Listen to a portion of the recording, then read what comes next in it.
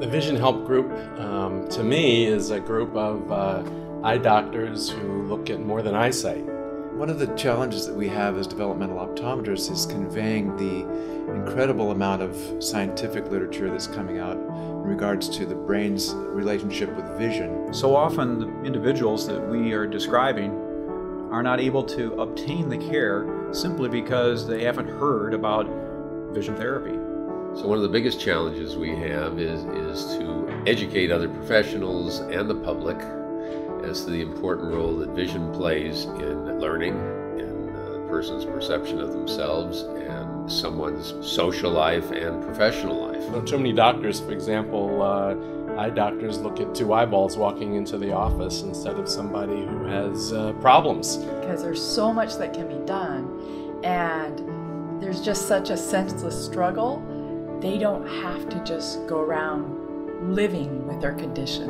It's finding solutions for what I consider to be fairly simple issues and seeing the changes that we make on a daily basis that literally change lives and changes the course of these kids' lives in their future.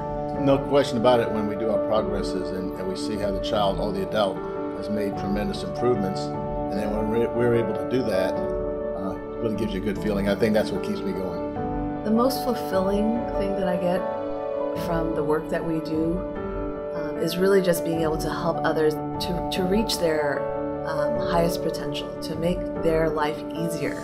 Uh, information is coming in, as we all know, at such a rapid uh, rate.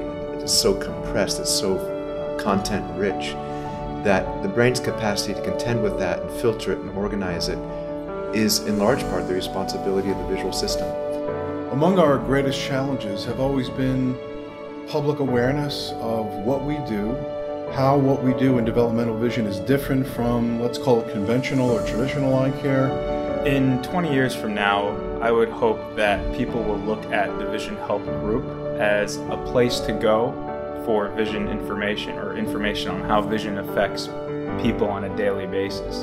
And how we can help patients to obtain the care that they desperately need.